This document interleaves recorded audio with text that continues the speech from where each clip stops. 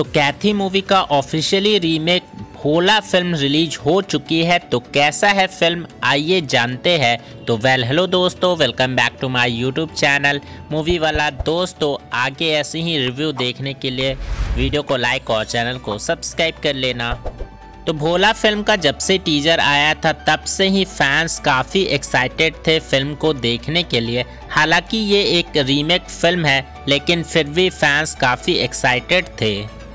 Film का story के बारे में बात करें तो स्टोरी एक कैदी का है जो कि जेल से छूट चुका है और उसको अपनी बेटी से मिलना है, जो एक अनाथालय में है।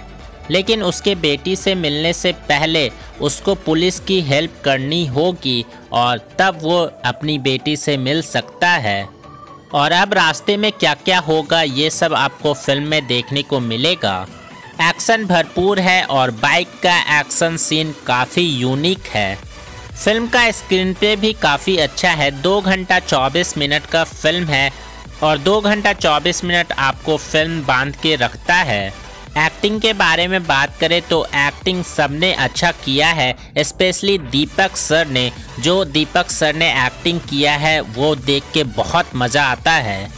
मतलब एकदम खा गया है दीपक सर ने। ओवरऑल फ़िल्म में सब कुछ है बीजेम कमाल का है एक्शन भरपूर है फैमिली इंटरटेनर फ़िल्म है। अगर आपने इसका ओरिजिनल फ़िल्म कैथी नहीं देखा है तो आपको डेफिनेटली मज़ा आएगा भोला फ़िल्म देखने में। और हाँ पोस्ट क्रेडिट सीन भी है लास्ट में फ़िल्म ख़त्म होने के बाद। और वो पोस्ट क्रेडिट सीन किसका है, ये आप सबको पता है तो उस पोस्ट क्रेडिट सीन को मिस मत करना, बहुत मज़ा आता है उस टाइम और इस क्रेडिट सीन से लगता है कि फ़िल्म अभी बाकी है और इसके आगे का पार्ट भी आएगा और यूनिवर्स बनेगा।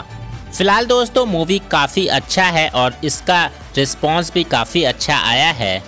तो अगर आपने मूवी देखा है तो आपको कैसा लगा लिखकर ज़रूर बताना कमेंट बॉक्स में। वीडियो अच्छी लगे तो वीडियो को लाइक करना चैनल को सब्सक्राइब कर लेना। मिलते हैं नेक्स्ट वीडियो में, तब तक के लिए बाय